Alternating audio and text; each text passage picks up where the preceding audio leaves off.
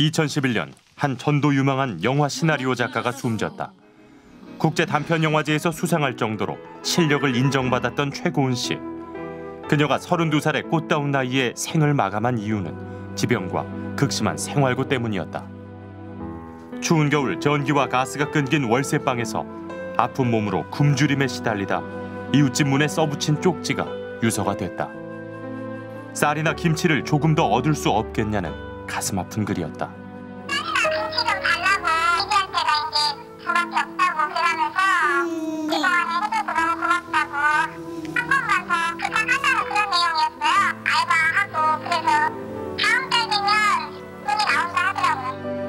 최고운 작가의 죽음은 예술인들의 열악한 현실을 알리는 계기가 됐고 같은 비극이 반복되는 것을 막기 위해 그 이듬해 일명 최고운법이라 불리는 예술인 복지법이 만들어졌다.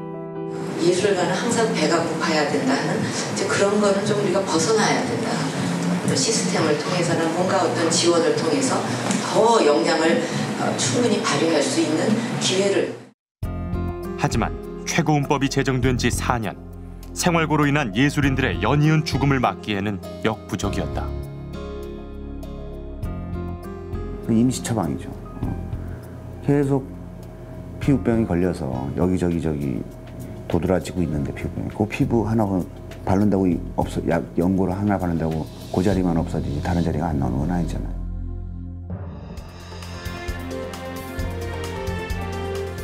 안녕하십니까. PD수첩의 박상일입니다. 지난 6월 말 두 명의 배우가 극심한 생활고에 시달리다 세상을 떠나는 안타까운 일이 있었습니다. 2012년 문화예술인 실태조사에 따르면 창작 활동으로 버는 한 달 수입이 50만 원 이하인 문화예술인이 무려 51.4%에 달한다고 합니다. 제2, 제3의 최고원을 막자며 만든 최고원법은 왜 두 배우의 죽음을 막지 못한 걸까요? 지난 6월 25일 대학로에서 연극 배우 김은아 씨의 노제가 치러졌다. 마흔의 젊은 나이에 세상을 떠난 그는 대학로가 주무대였다. 한국예술종합학교를 나와 20년 가까이 무대에 섰던 그는 유명하진 않았지만 연극계에서 인정받는 배우였다. 그를 아꼈던 선후배 동료 연극인들은 눈물을 감추지 못했다. 얼마 전까지 여기 대학로에서 공연을 했고 바로 다음 주면 다시 관객들을 만나야 하는데. 지금 형이 그곳이 아니고 여기 대학로에 있어야 하는 건데. 형 형은 정말 좋은 형이자 친구이자 무대에서 가장 멋진 진짜 배우였어. 아까운 배우 한 명을 잃은 슬픔과 그를 위해 아무것도 하지 못했다는 미안함에 모두 비통해했다. 김은아 씨는 대학로 인근의 한 고시원에서 숨진 지 닷새 만에 발견됐다. 창문도 없는 한 평 남짓한 월 23만 원짜리 고시원 방. 몇 벌 안 되는 옷가지가 살림의 전부였다. 김은아 씨의 아버지는 오래전 세상을 떠났고 어머니도 연락이 끊긴 상황. 그의 시신은 무연고 처리됐다. 겨우 장례를 치렀다. 노가다 하는 사람인 줄 알았죠. 신혼하기 전에는 특별한 물건도 없고 하니까 좀 집도 어디 갈 데가 없는 그런 좀 힘들게 생활하는 사람이 거주를 하는 줄 알았죠. 노숙자분들이 좀 많이 거주하니까요. 경찰은 김은화 씨가 지병으로 인해 사망한 것으로 추정하고 있다. 심장병을 비롯해 그가 앓고 있던 병은 다섯 가지. 매일 약을 먹지 않으면 위험한 상태였지만 그가 가진 약은 몇 알에 불과했다. 연극인들이 이렇게 힘들게 생활한다 하다는 건 처음으로 저희가 이렇게 고시원에 가서 이 변사자 보고 처음 알았지 그 전에는 저도 전혀 몰랐습니다. 그는 언제부터 병마에 시달려왔던 걸까? 2004년부터 3년간 같은 극단에 있었던 연극 연출가 김선찬 씨. 그 당시 김은화 씨는 연기를 하며 자주 통증을 호소했다고 한다. 그러니까 머리가 굉장히 많이 아프다. 그러고선 중간에 머리를 이렇게 잡더라고요. 그래서 야 그렇게 아프면은 뭐 약을 먹던지 병원을 가야 되는 거 아니냐 그랬더니 뭐 형님 뭐 드릴 말씀이 있습니다. 그러더니 자기가 머리에 병이 있다고 그러더라고요. 그러면서 근데 약을 계속 먹어야 되는데 그 약 살 돈이 없습니다. 그래서 제가 그때 3만 원인가 5만 원인가를 줬던 기억이 있어요. 연극계에선 두세 달의 연습 기간 동안 연습비가 책정돼 있지 않는 것이 보통. 공연을 해도 받는 돈은 얼마 되지 않는다. 한 달 공연 뭐 해도 20만 원, 30만 원. 그 정도 제가 용돈으로 주는 정도밖에는 못 챙겨줬었습니다. 그만큼 연기에 좀 나름대로의 꿈이 컸나 봐요. 연기하는 순간이 가장 행복한 순간이라고 그랬었어요. 예.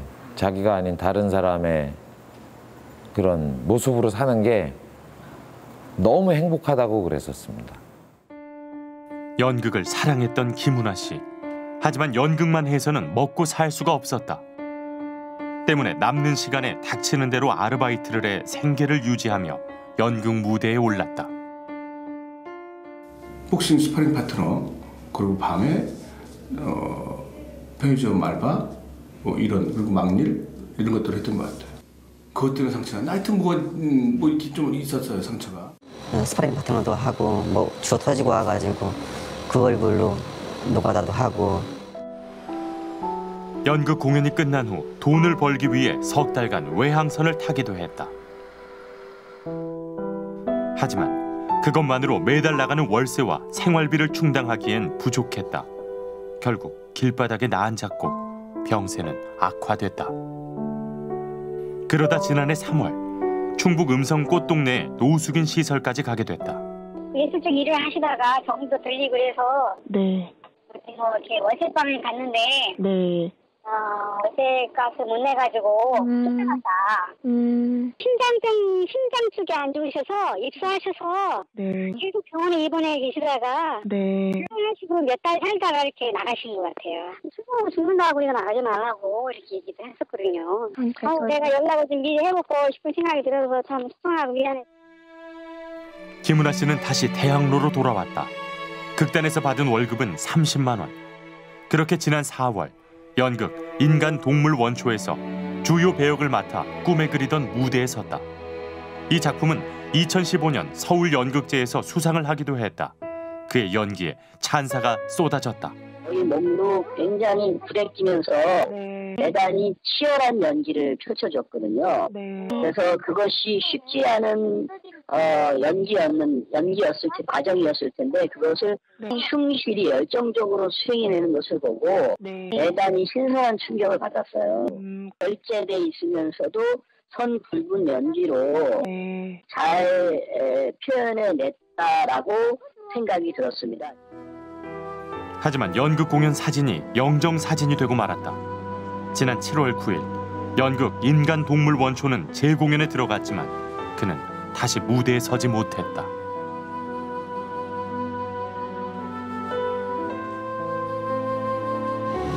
그런 얘기를 제가 많이 했었어요. 네. 형 이러다 진짜 죽어. 그 호흡 곤란이 올 때마다 괴로운 모습을 많이 봐왔었죠. 그래가지고 형은 절대 죽고 싶지 않았을 거예요. 최고가 되자 이런 얘기도 했었고 그만큼 열정도 강하고 살고 싶은 욕구도 많았던 형이에요. 그러니까 그런데 죽게 된 거는 아마도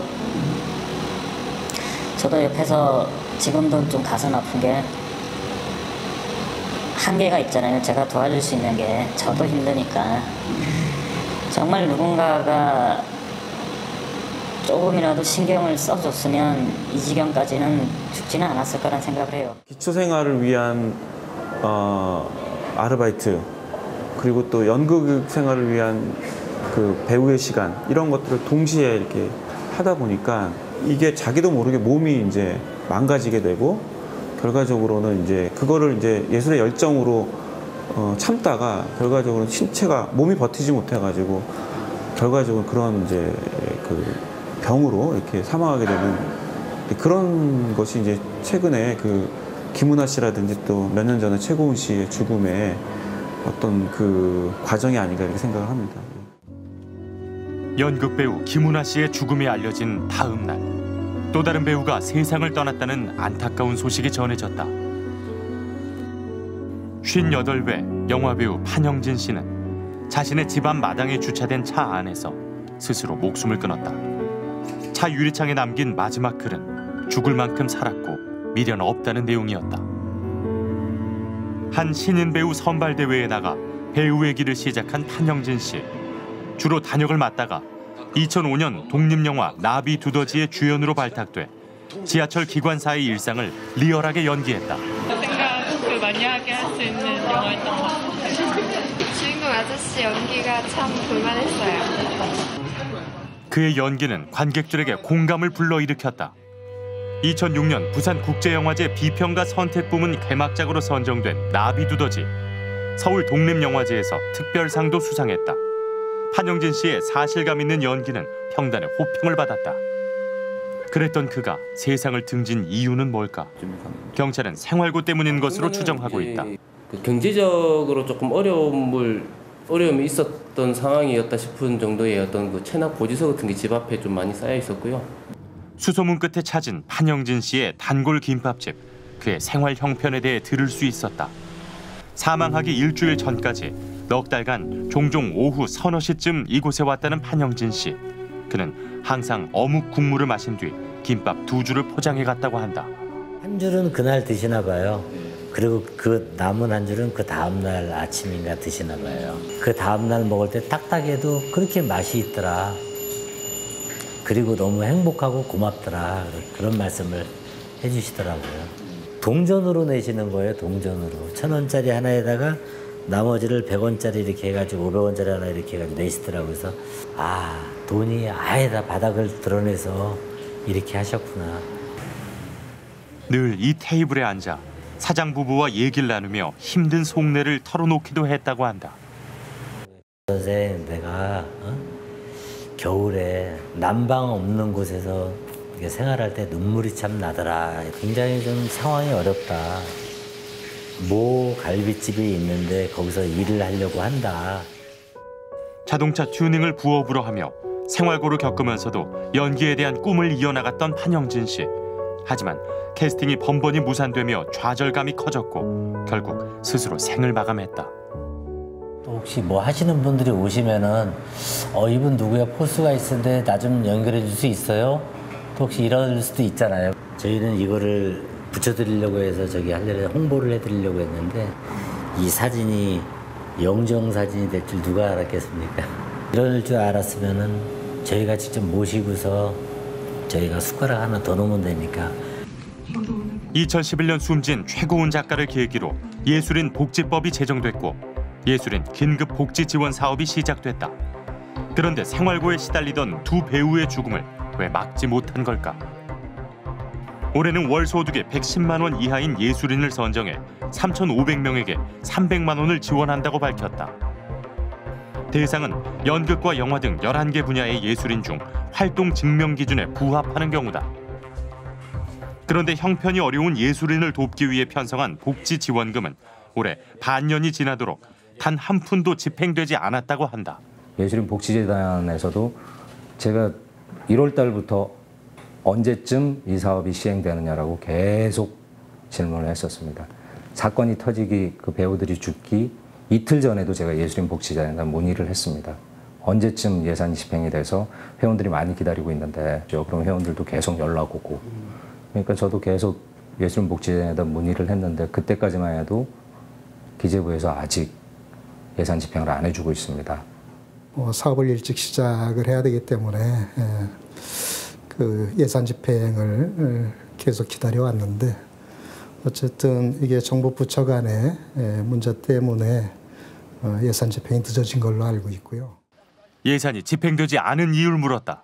저희가 문체부랑 저랑 입장이 똑같아요. 저희가 그 가- 문체부랑 저랑 협의를 해가지고 지금 정책을 뭐 개발하고 뭐 진행을 하는 거기 때문에 근데 승인 여부는 기재부에서 따지는 것 아닌가요? 근데 그게 다 협의를 해서 만드는 거잖아. 문체부의 입장을 듣기 위해 찾아갔지만 만나지 못했다. 대신 서면으로 답해왔다.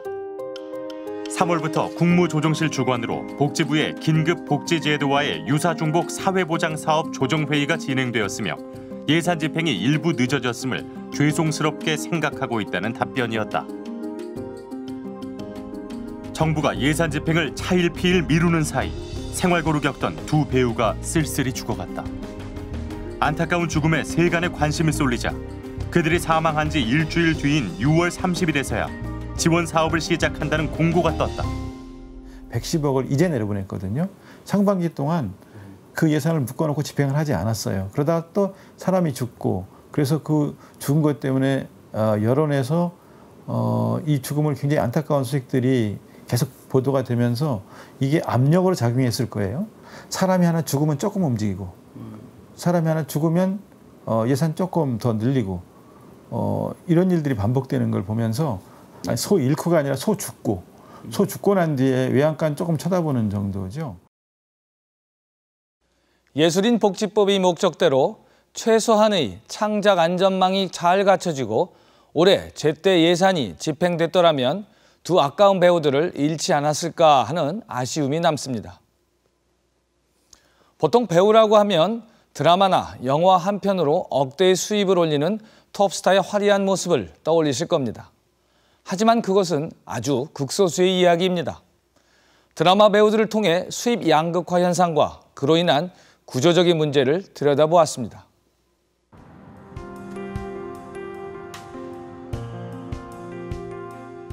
이른 아침 한 농산물 도매시장. 분주한 사람들 속에서 낯익은 얼굴이 보인다. 배우 손윤상 씨다. 그는 매주 아르바이트를 하러 이 시장에 온다. 뭐잘거다 자고는 일 못하죠. 뭐 방송 끝나고 나서도 바로 뭐 새벽에 촬영이 끝나면 또 바로 와서 하는 경우도 있고. 예. 그다음에 또 가서도 가게 가서 일할 때 차 안에서 조금 자더라도 MBC 신비한 TV 서프라이즈에 단역으로 출연 중인 손윤상 씨. 방송 연기 경력 10년 차로 다양한 역할을 자유자재로 소화해낸다. 그 돈이 어떤 돈인 자, 큐. 매주 한 번 하는 촬영은 이른 아침부터 다음 날까지 이어지는 경우가 비일비재하다. 그렇게 한 주에 받는 회당 출연료는 5, 60만 원. 배역을 맡지 못하는 날엔 출연료가 없어 과일을 도매로 사와 손님에게 판매하는 아르바이트를 한다. 맛보세요. 자, 천 원입니다. 천 원, 천 원, 천 원, 천 원, 천 원. 복숭아 왕, 복숭아다 왕. 새벽 6시부터 16시간 동안 하루 온종일 일해서 받는 돈은 10만 원 정도. 그는 벌써 7년째 과일 가게에서 고된 아르바이트를 하고 있다. 이 생활에서 힘들었던 거는 방송이 없었을 때죠. 방송이 없으면 수익이 없다는 거니까.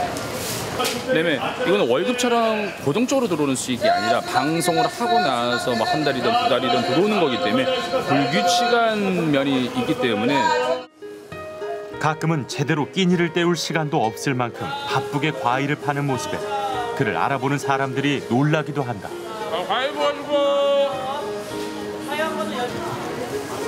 예전에는 아르바이트로 시작했지만 이제 또 다른 직업이 됐다. 진짜 열심히 사는 것 같아요. 촬영 없는 날은 꼭 나와서 일하고 촬영 있는 날 하는 거 보면 사실 뭐 연예인 생활하면서 저렇게 하기 쉽지 않거든요. 내가 보니까 한 본지가 내가 거의 한 1년이 넘은 1년 더 됐구나. 뭐 촬영 오고 그 다음날 또 일할 때는 좀 힘들어도 하고 그래요. 사실 피곤하죠. 저녁 내가 촬영하고 나서 그런 거 보면 좀 짠하기도 하고. 손윤상 씨보다 경제적으로 더 어려운 배우도 있었다. 올초 유명 사극 드라마에서 감초 역할로 출연한 경력 20년 차 신형민 씨. 300만 원 정도 되더라고요. 작년에 일했던 게 방송에서 그러니까 평균적으로 따지면 30만 원도 안 되는 돈이죠. 네, 그, 그걸로 도저히 살 수가 없죠. 뭐 서빙도 해보고 노가대도 다녀보고 뭐 길거리에서 노점단도 해보고 안 해본 게 없어요. 배우 생활을 하기 위해서는 그렇게 생활을 할 수밖에 없는 거죠. 영민 씨는 월 28만 원짜리 고시원 방에서 생활하고 있다. 그는 인지도가 낮은 배우에 서름을 토로했다. 성인 연기자는 6등급부터 시작해 등급이 올라가며 회당 출연료가 오른다. 하지만 몸값이 높아지면 출연 기회가 줄어 오히려 등급을 낮추기도 한다. 사실 저 역시도 12등급까지 받아야 될 정도인데 일부러 10등급만 받은 거예요. 10등급이 넘어가 버리면 더 활동하기가 힘드니까. 저번 같은 경우는 제가 이제 네, 드라마 여건상 10등급을 하기는 힘드니까 어, 선배님 그럼 저희들한테 6등급으로 좀 해주시죠. 이렇게 등급을 낮춰서 얘기가 온 적도 있어요. 어, 등, 낮은 등급으로 그냥 출연을 했던 거죠. 근데 이제 그런 게 많아요. 그런 거는. 예. 뭐 한두 군데, 한두 번이 아니죠. 한두 번이 아니고. 낮춘 등급에 맞는 출연료를 전부 받을 수 있는 것도 아니다. 드라마 주 조연을 제외한 배역의 캐스팅은 주로 캐스팅 디렉터에 의해 이루어진다. 일종의 인력 소개소 개념이다. 그런데 일부 캐스팅 디렉터의 경우 수수료를 지나치게 많이 떼간다는 것이다. 걔네들한테 프로테지 30%를 안 줬을 경우에는 오히려 그 친구들은 우리를 자기들 돈을 안 줬다고 출연을 안 시켜요. 쉽게 얘기하면은 어, 우리 프로필을 제출을 안 하는 거죠. 캐스팅, 어, 캐스팅 할 일이 있으면은. 왜냐 프로테지가 자기들이 벌이가 적으니까 적은 배우보다는 30% 뛰는 배우들을 데려쓰는 게 자기들한테 유리하거든. 그들이 어떻게 보면 왕인 거죠. 그, 저, 그 연기자들, 이름이 알려지지 않은, 알리고 싶은 사람들에게는 네, 힘이 어마어마하다고 할 수 있죠. 왜냐하면 그들이 가지고 있는 그 페이퍼를 가지고 있는 목록들이 어마어마하니까 나이별로, 성별로, 아역부터 시작해서 어른들까지. 연기자 4천 명을 대상으로 조사한 결과 작년 연 소득이 1,020만 원 미만인 연기자가 70%, 한 달 소득이 85만 원도 되지 않는다는 것. 반면 톱스타들의 출연료는 천정부지다. 한류 열풍이 불며 치솟은 톱스타들의 몸값은 상상을 초월할 정도다. 현빈 씨가 올 초 한 드라마에서 받은 것으로 알려진 회당 출연료는 1억 원. 배용준 씨 역시 한 회당 2억 5천만 원을 받은 적이 있다. 2008년 국정감사 당시 정확히 밝혀진 드라마 출연료 1위는 고현정 씨. 회당 2,500만 원으로 드라마 한 편에 총 4억 원의 수입을 올렸다. 톱스타들의 최근 출연료 추세는 어떨까? 요즘에 소위 말하는 A급들 같은 경우에는 보통 뭐 요즘에는 1억 정도가 상은 하죠. 네. 아 1억이요? 네, 1억에서 8천에서 1억 정도 A급들은 중국에서 지금 핫한 배우들이 한국에서도 핫한 배우라고 통한다고 보면 되는 거죠. 한 지상파 방송사의 출연료 현황. 주연 배우 한 명의 회당 출연료가 8천만 원에서 1억 원에 달하며 제작비의 약 20%를 차지할 정도로 비중이 높다. 출연료 상승의 또 다른 요인은 외주 제작의 활성화. 스타급 주인공을 확보하고 그 계약서를 보여줘야 이제 편성이 진행이 되는 거거든요. 이게 제작 경험이 없는 예, 그 신생 제작사에서는 뭐 달라는 대로 줄 수밖에 없는 거죠. 그리고 그것이 그 사람의 몸값이 되는 것이고 이런 식으로 계속 에스컬레이트 돼 왔던 것이 이 배우 출연료의 현실이죠. 91년 도입된 외주 제작 의무 편성 제도 2005년에 그 비율이 40%까지 확대됐다. 경쟁이 치열해지며 출연료가 대폭 올랐고 이는 배우들의 수입 양극화 현상을 심화시켰다. 사실은 그 출연료 부분의 양극화가 우리 한국 그 드라마 산업의 어떤 그 암적인 요소입니다. 개런티가 굉장히 높아지면서 반대로 이 조단역 배우들 또는 그 스탭들의 인건비 부분이 축소된 것이 사실이에요. 그래서 이쪽은 거의 지금 인상되지 않은 채로 계속 왔습니다. 그리고 예, 같은 연기자 세계 내에서도 이 그 출연료를 굉장히 많이 받는 아주 소수를 제외하고는 대단히 열악한 상황이죠. 부실한 외주 제작사로 인한 피해도 크다. 베테랑 배우 김대우 씨, 그는 출연료 200만 원을 받지 못했다. 한번 이제 촬영하면 또 몇 달 있다가 돌아오고 이런 게 반복되는 어, 저 같은 이제 단역 배우들은 사실은 뭐 액수는 얼마 안 되지만은 그 달 벌어서 다음 달 쓰고 뭐 이런 케이스이기 때문에 굉장히 데미지가 크죠.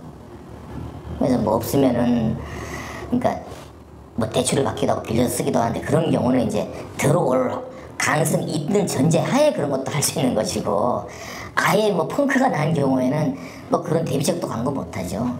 들어올 돈이 없는데 당장 돈이 없어 고등학교 2, 3학년인 자녀들의 학원을 끊을 수밖에 없었다.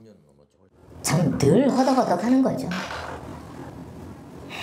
글쎄 뭐 애들이야 늘 풍족하게 살아온 적이 없기 때문에 속이 좀 넓은 편이고 한데 어, 좀 굉장히 좀 표현을 안 하지만은 좀 실망하는 기색이 역력하고 김대우 씨처럼 출연료를 받지 못한 배우는 한두 명이 아니다. 보통 방송이 나간 다음 달에 출연료를 지급하도록 돼 있다. 하지만 방송이 끝난 지 석 달이 지나도 출연료를 지급하지 않은 외주 제작사들이 있었다. 가장 생계에서 중요한 어떤 출연료는 인공 그 그걸로 먹고 사는 연기자들한테는 그 진짜 피 같은 돈이에요. 그걸 안 준다라는 거예요. 또 연출하고 너무나 또 잘 알고 그다음 연출이 아 다음 작품 이렇게 할 건데 좀 도와주십시오라고 하면 거절을 할 수가 없는 부분이에요. 왜냐하면 이거 한 프로만 내가 끝나는 게 아니기 때문에 연기자들 같은 경우는 영원한 을이기 때문에 항상 그 불이익을 가장 많이 받습니다. 주연들 같은 경우에는 미리 받게 되는 분들이고 마지막에 꼭 역시 그 이제 피해를 보는 사람들은 스태프들이거나 도단회원들이 제일 많은 피해를 보게 되어 있죠. 잘 모르고 들어와서 제작비 뭐 연기자들을 무리하게 잡고 제작비를 무리하게 쓴다거나 그렇게 해서 이제 망하는 경우가 요즘에 나오는 미지개 사태랑 연결되어 있는 것 같아요. 현재까지의 드라마 출연료 미지급 현황. 한 외주 제작사는 총 출연료 미지급 액수가 6억 4천만 원에 달한다. 무려 6년 전에 방송된 드라마도 포함되어 있다. 미지급된 출연료를 모두 합하면 무려 26억 2,400만 원에 이른다. 사실 뭐 저희 회사도 뭐 수년 전에는 뭐 그런 어떤 미지급 사례로 좀 고생을 한 적이 있지만 그거를 이제 다 정리를 했고요. 그 다음에 2010년 이후로는 기본적으로 이제 어, 출연료 그 완전 지급을 확인한 후에 외주비를 어, 지급하는 걸로 정책을 바꿔서 저희가 비교적 그 부분을 갖다 좀 철저히 지키는 편입니다. 그래서 출연료 이제 지급 확인을 다 받기 전에는 일정 부분의 외주비를 이제 남겨놨다가 그걸 확인한 다음에 지급을 하고 있고 제작진은 출연료를 지급하지 않은 해당 외주 제작사를 직접 찾아가 봤다. 외주 제작사가 있었다라는 얘기는 들었는데요. 예, 예. 저희가 그 다음에 입주한 사람들에서 전혀 몰라요. 몇 달 동안 아무도 안 들어와서 저희가 들어온 거거든요. 다른 외주 제작사도 상황은 비슷했다. 모릅니다. 저희 올해 3월달에 이사 왔고요. 이사 오기 전에 몇년 비어 있었어요. 외주 제작사는 대부분 폐업한 상태였다. 예술인 복지법이 제정되면서 만들어진 방송 출연 표준 계약서. 출연료 미지급이 발생하는 경우 방송사에서 직접 출연자에게 지급하도록 돼 있지만 권고 사항일 뿐 강제성은 없다. KBS 작품 그 그들이 사는 세상이라는 프로그램이 있었어요. 그게 법적으로 가가지고 민사 소송으로 이겼습니다. 그런데도 그 출연료를 못 받고 있는 현실이에요. 왜냐하면 그 대표가 어 나 돈 생기면 지급을 하겠습니다. 민사하다 보니까 법적으로는 당신이 이기지만 한 사람이 폐업 신고를 해버리게 되면 우리 쪽에서는 누구한테 또 말도 못하는 부분이다 보니까 그게 가장 가슴 아픈 현실입니다. 취재하면서 만난 드라마 배우들은 표준 계약서의 70%만 지켜줘도 좋겠다는 말을 했습니다. 형편이 어려운 배우들이 일을 하고도 돈을 못 받는 불이익이 없도록 그들을 보호할 수 있는 법적 장치가 시급해 보입니다. 드라마 배우들은 그나마 정해진 출연료라도 있지만 연극 배우들은 더 여건이 좋지 않습니다. 하지만 연극에 대한 열정 하나로 무대에 서고 있는데요. 최근 연극인들의 생존을 위협하는 위기가 닥쳤다고 합니다.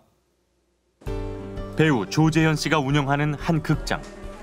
연극에 대한 애정이 각별한 조재현 씨는 2012년 연극 제작사를 설립해 연극을 직접 무대에 올리고 있다. 연극은 답답하고 재미없고 지금 뮤지컬이나 그런 것처럼 화려하지 않기 때문에 어, 많은 사람들한테 잘 찾지 않는 공연 문화로 자리 잡는 것 같았어요. 정말 좋은 연기, 좋은 연극을 보고 감동을 받고 정말 숨죽이면서 그 배우를 코앞에서 딱 집중하면서 그것은 영화나 TV나 뮤지컬을 통해서 그, 그런 느낌을 가질 수가 없어요. 걱정하지 마. 니키 때문이 아니고 내가 쓸 거니까. 글쎄 뭐 네가 날 버리지 마 제발. 날 버리지 마. 연극 배우 출신으로 연극에 가진 힘을 믿는 조재현 씨지만 연극 제작과 극장 운영의 어려움을 누구보다 잘 알고 있다. 수익을 기대하고 연극을 제작한다는 것은 약간 바보죠. 어, 손해는 안 보겠다. 그래서 이것이 어, 계속 제작을 하는데 어, 비단 내고 운영하는 건 성공한 것이다. 라고 저는 생각을 했고요. 지금 그 정도로는 유지를 하고 있습니다. 현재 대학로에는 극장을 유지하는 것조차 어려운 연극인들이 부지기수다. 병실에 입원해 있는 원로 연극인 김동수 씨. 그는 68년 평생 최악의 해를 보내고 있다.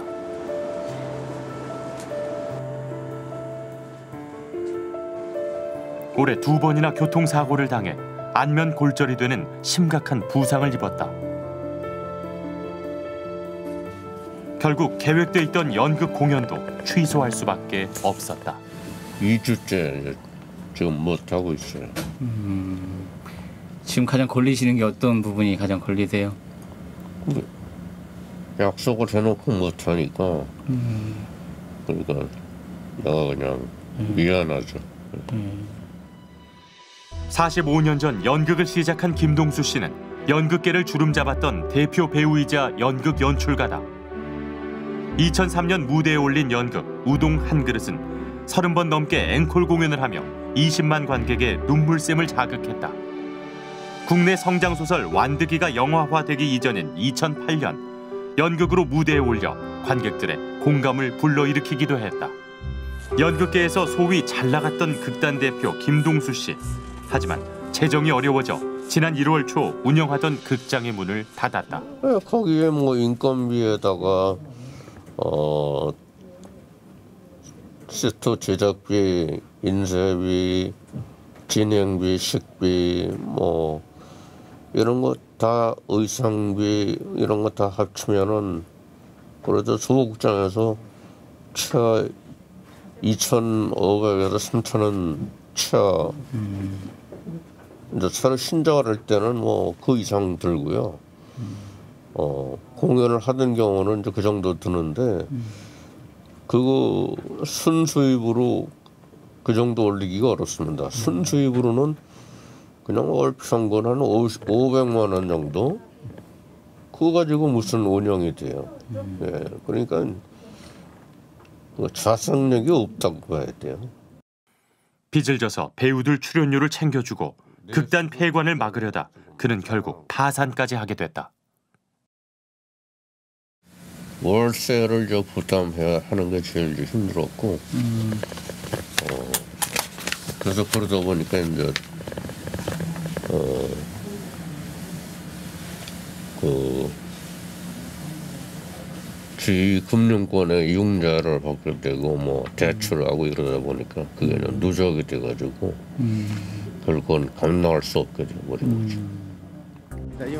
그의 동생 김정수 씨와 함께 올 초까지 임대해 소극장으로 사용했던 건물을 찾았다. 소극장이 있던 자리는 업종 변경을 위해 공사 중이었고 극장의 흔적은 남아있지 않았다. 16년간 머물렀던 소극장에서 나오게 된 가장 큰 이유는 임대료 인상이었다. 매년 15%에서 20% 올랐다고 보시면 됩니다. 1999년대는 200만 원 선이었죠. 네. 그리고 위에는 뭐 한 층을 다 썼지만 지금 반 층밖에 안 쓰는 거거든요. 그러니까 쉽게 얘기해서 50평도 안 되는 평수에 저희들이 이제 부가세 포함해서 398만 6천 원을 내었었죠. 그러다가 이제 한 10개월에서 12개월 정도를 월세를 못 냈습니다. 그래서 이제 건물주가 이제 나가달라. 그런데 문을 닫은 소극장은 이뿐만이 아니다. 1987년 문을 연 뒤 대표적인 소극장으로 자리 잡은 대학로 소극장도 임대료 인상으로 올해 결국 폐관했다. 임대료 등의 문제로 사라진 극장은 학전 그린 등 14개에 달한다. 그렇다면 대학로의 임대료가 급격하게 인상된 이유는 뭘까? 연극인들은 2004년 서울시가 대학로 일대를 문화지구로 지정한 것이 큰 요인이었다고 말한다. 서울시는 문화지구에 공연장을 신설할 경우 조세 감면과 융자 지원 등의 혜택을 주었다. 태양로의 문화적 가치를 보호하고 육성하는 게 목적이었다.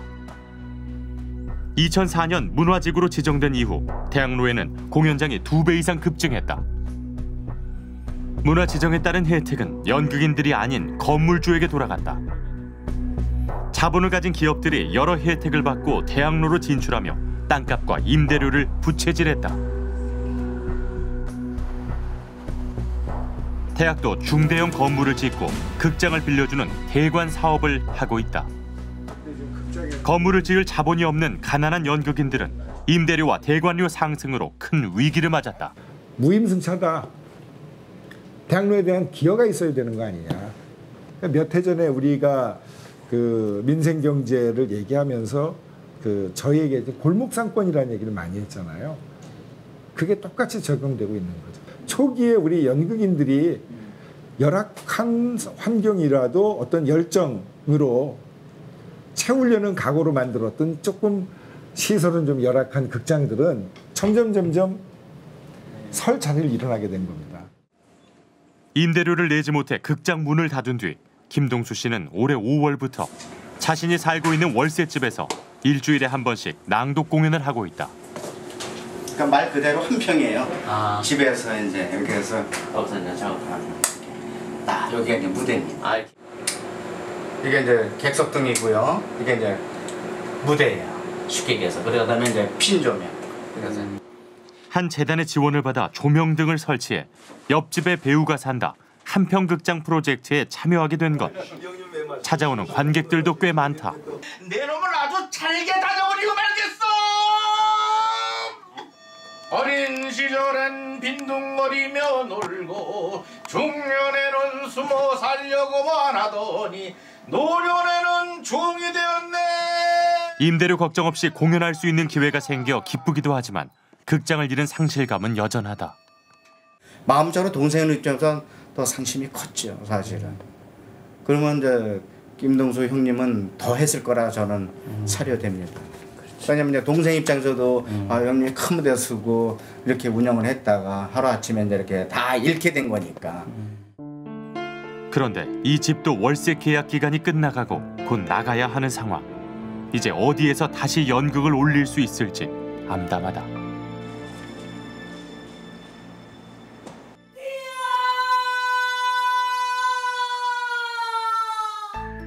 극단들은 대부분 공연을 할 때 대관료를 지불하고 연극을 무대에 올린다. 금순이랑 보배랑 나랑 그런데 최근 극장 대관료가 많이 올라서 연극 제작비의 절반을 차지할 정도라고 한다. 이렇게 그 극장들이 많이 생겼는데 우리가 갈 곳은 없어지는 게 대학로 문화지구구나. 아 사실 지금 천만 원으로 한 달 쓸 수 있는 극장은 거의 없고요. 운 좋게 조금 아주 외곽에 있거나 작은 극장인 경우 대관료가 한 4, 50 정도 하니까 1200, 1500 그 사이 정도 되겠네요. 관객 입장료 수익으로는 대관료 내기도 어렵다. 이 극단은 요청이 들어오면 지원을 받아 기존에 했던 연극을 주로 올리고 있다.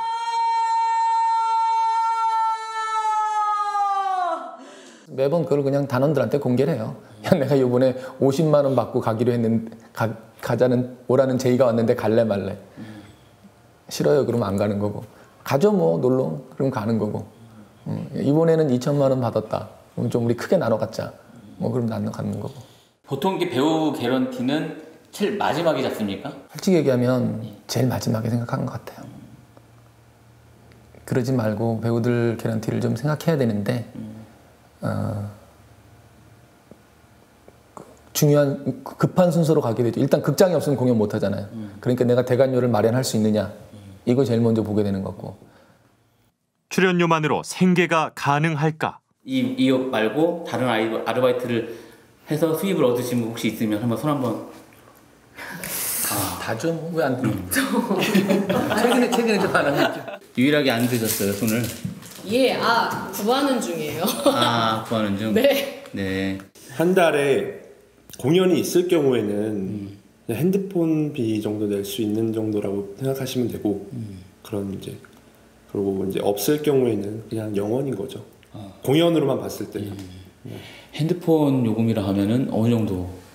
핸드폰 요금 한 5, 6만 원 나오잖아요. 한 그 정도로 생각하시면 돼요. 돈에 대한 문제 때문에 힘든 거는 분명 있죠. 근데 돈에 대한 힘든 것보다는 하고 싶 하고자 하는 게 더 강하다 보니까 힘든 게 아마도 좀 그나마 버틸 수 있다, 참아낼 수 있, 다라는거 정도까지여서 한 연극 배우는 연습이 끝나자마자 아르바이트를 하러 일어났다. 아 지금 어디 가시는 거예요? 지금 전 지금 일하는 데는 충무가 팀이고요. 여기 특수과 일하러 가야 됩니다. 아또 아르바이트 하러 가시는 거예요? 예.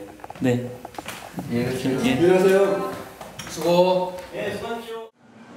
여건이 열악한 건 대중 연극도 마찬가지다. 주인공인 한성국 씨. 연극계에서 출연료가 높은 편이지만 연습 기간을 포함하면 수입은 한 달에 75만 원. 최저임금보다 훨씬 적다. 메르스가 워낙 타격이 컸고요. 그래서 지금 한 두 달 정도가 관객이 비는 바람에 음, 배우들 페이 저희가 지금 두 달째 거의 두 달째 배우가 페이가 정상적으로 나가는 날짜 제대로 못 나가고 항상 이렇게 delay가 되고 그래서 저희 너무 미안하죠. 배우들은 여기서 나온 페이 가지고 많지도 않은 그 돈조차도 지금 되게 받기가 힘들어졌다라는 거죠. 성국 씨는 연습이 끝나면 스낵카를 운영한다. 연극 출연료만으론 생활이 되지 않기 때문. 이제 연극 배우 경력 10년 차인데 쉴 새 없이 아르바이트를 하는 건 10년 전과 다르지 않다. 아침부터 이제 저녁까지는 이제 훈련을 받고 근데 이제 또 돈은 벌어야 되니까 끝나고 뭐 12시 되면 지하철에서 이제 스크린도 한 청소하고 그거 끝나고 그게 한 3, 4시 정도 끝나면 또 이제 신문 배달 새벽에 신문 배달하고 바로 이제 또 지하철 타고 이제 양주 가면서 거기서 잤어요. 코피가 막 이렇게 흐르고 막 힘들더라고요. 그때. 아 이러다가 이러다 죽겠구나. 이러다 죽을 수도 있겠구나. 극단과 계약이 끝나는 8월이면 또다시 오디션을 보러 다니며 무대를 찾아야 한다. 연극을 사랑하지만 불안정한 상황 때문에 요즘 걱정이 크다. 그래서 지금 많이 고민 중에 있는 상태여서 저도 지금은 헷갈립니다. 예. 나 정말 그만두고 딴 걸 해야 되나 생각도 들고. 문화 강국으로 자리매김한 프랑스. 그 원동력이 된 것은 예술인을 대상으로 한 사회보장제도 앵떼르미 땅이다. 비정규직 예술인들은 10개월 반 동안 507시간 이상의 기준을 충족시키면 최대 8개월간의 실업급여를 받을 수 있도록 돼 있다. Parce que si on regarde les contributions versées par l'État et par les collectivités locales et l'argent que génère le spectacle en France, la balance est plutôt positive. Le monde du spectacle vivant rapporte beaucoup plus que l'industrie automobile en France. 자국의 예술인을 보호하고 지지하는 국민의 신념과 이해, 그에 따른 정부의 절대적인 지원이 함께 이루어지고 있다. Vous pensez que la protection des intermittents est important pour euh, pouvoir euh, vivre les, Ah oui, les oui, oui, oui, je pense que c'est très important, bien sûr. sûr. C'est- pour soutenir l'art et l'art, euh, ça n'a pas vraiment de prix. quoi. 독일은 예술가들이 연금 의료 보험을 들도록 하고 보험료의 일부를 국가의 보조금으로 납부하는 사회보장법이 마련돼 있다. 지난 7월 8일 예술인 복지제도의 문제점을 진단하는 긴급 토론회가 열렸다. 해당 부처에 미리 공문을 보내고 알렸지만 누구도 참석하지 않았다.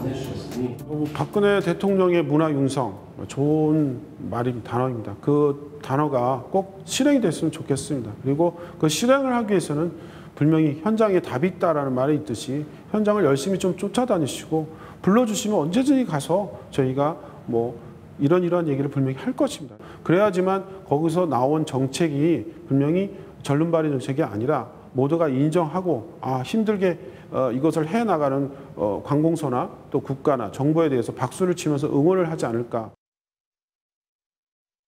배우들뿐만 아니라 문학, 미술, 무용 등 예술인들이 처한 열악한 현실은 아마 다 비슷할 겁니다.